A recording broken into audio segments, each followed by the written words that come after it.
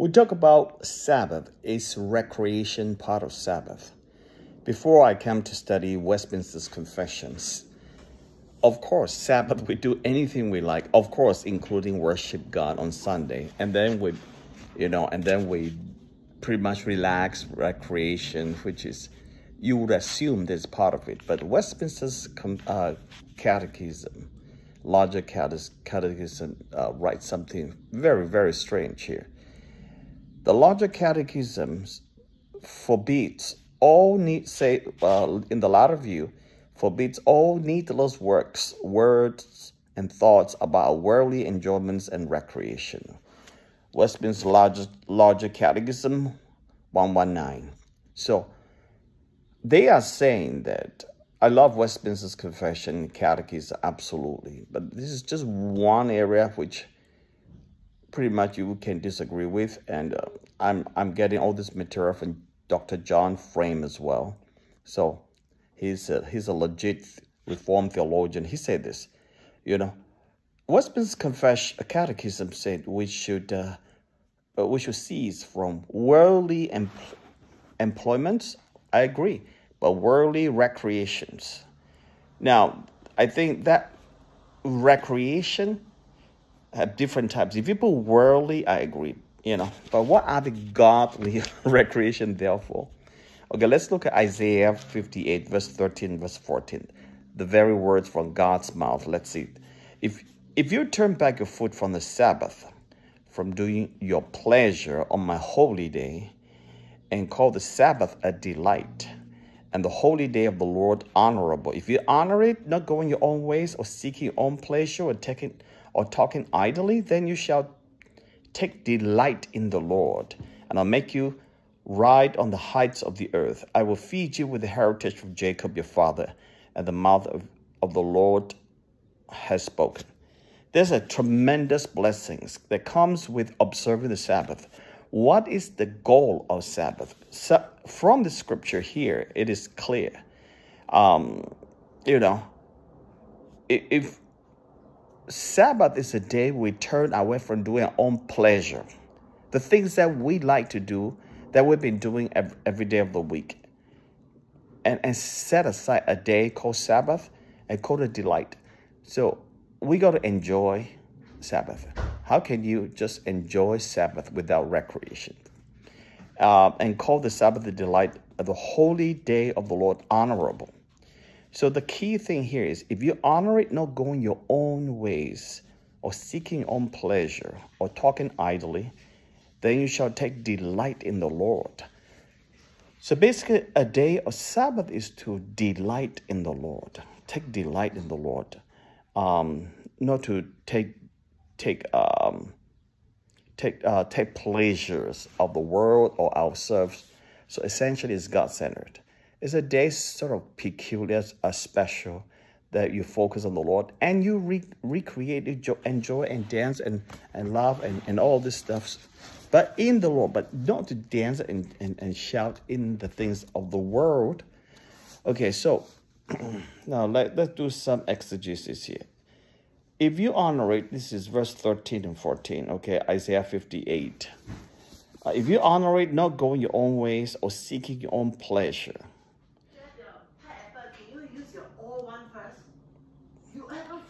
the word the word pleasure occurs twice in verse 13 okay the word pleasure um, is not recreation per se. In the hebrew word the word pleasure comes from the hebrew hafetz hafetz which often refers simply to the will of a human being or god.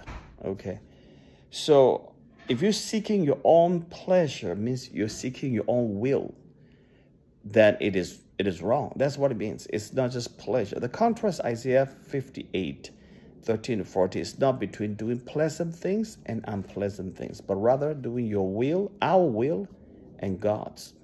Indeed, the passage itself emphasizes the Sabbath is to be a pleasant experience, a delight. So so this is doing God's will or not go your will or God's will. In other words, Sabbath really is a day that God takes precedence. God should take precedence over every day of our lives, of the week, of the month, of the years, etc. But on that particular day, special precedence for the Lord, if you like. And also that's the day we go to worship the Lord our God. Okay. Um so so recreation then if the recreation is pleasant, enjoyable activity as opposed to toil, John Frame wrote, then the Sabbath itself is by nature recreational. Therefore, recreation is a form of rest. Okay, so recreation is a form of rest. Therefore, it should be allowed, and it is part of the very nature of Sabbath. Um, there are other things like uh, I want to talk about is is uh, is what he wrote about in Leviticus the and the Levites. Okay, what um, in uh, in Nehemiah chapter eight, verse nine to verse ten. All right, um, the Levites are teaching the law to Israel, newly regathered from exile. It is a holy day, verse nine. Like a Sabbath, there's there's a solemn, solemn, solemnity about it as God convicts the people of sin. But the Levites urge the people to make a feast of it to enjoy good food and drink and not to mourn. See, they celebrate. Sabbath is also a day of celebration. Jacob points out how often God's, Jacob is one of the uh, theologian writer. What is his name? Let me see. Uh, he, he, he points out that, he points out that, um, He points out that um, how often God's holy days are feasts, times of recreation, as well as times of learning and worship. So Sabbath is also a day of feast, time of recreation, as well as learning and worship. You know, the Sabbath we have seen celebrates God as creator, redeemer, and consummator of history. So Jacob shows that whenever God's people celebrate these great events they play, celebration is part of recreation. And we're supposed to celebrate on the Lord's day, the Sabbath day. You know, I mean, if you compare the dancing, Frame wrote, uh, compare the dancing accompanying the bringing of, ark, of the Ark of Jerusalem, the emphasis in the Psalms on rejoicing before God, the singing and dancing following the deliverance of Egypt in Exodus 15, the rejoicing in the New Testament over sinners being found, Luke 15, and Jesus partying in the Gospels. Come on. We need recreation, we need celebration. Recreation. The Sabbath day is also a day we celebrate God, God's great deeds. That is to to uh, to do the pleasures of the Lord. Okay, the eschatological passages of scripture full of feasting and on. How can the Sabbath, which celebrates creation, redemption, and consummation, be any different? So it is important to keep in mind that by very nature, by its very nature, Sabbath is a feast, not a fast. So it's a feast, not a fast celebration. It's a time of abundance, not deprivation. It should be a delight, a time of play and joy. This is, of course, difference between feasting before the Lord and mere secular entertainment. Now, we don't want to go too far to sort of use that as an excuse to have worldly parties and all this, you know.